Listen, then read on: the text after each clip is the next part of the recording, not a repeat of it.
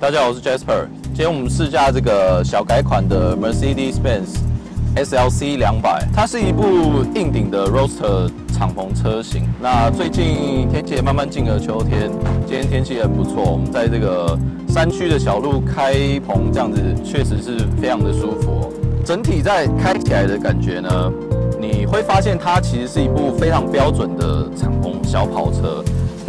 跟其他的可能一些双门的 coupe 车型，它出了更进阶的这种敞篷的结构，其实操控的能力是都会下降的。那这部 SLC 或是更高阶一点的宾士的 SL，其实都不一样哦。它整体开起来就是一种很均衡的车体反应。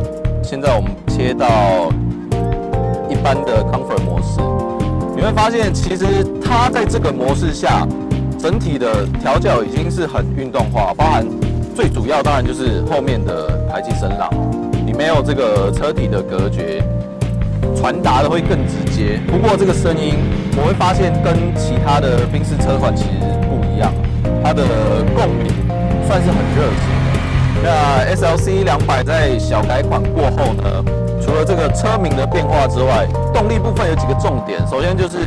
这颗前面这颗四缸的两千 CC 涡轮引擎，它有一百八十四匹的马力。不过呢，呃，再搭配这个最新哦，我们大家都很喜欢的九速变速箱，其实你开起来的感觉呢，会给你不只有这样的马力哦，我觉得开起来有两百匹以上的感觉。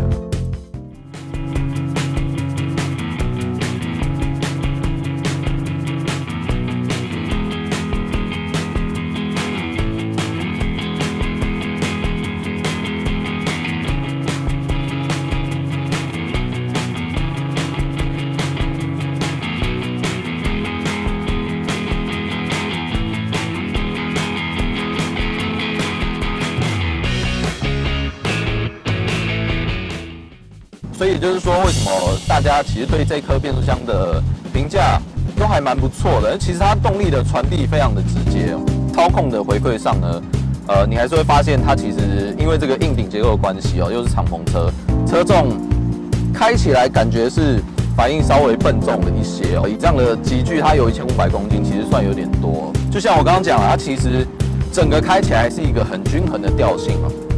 那由于我没有开过前一代的 SLK 哦，我不知道它的排气系统是本来就这样的设定哦。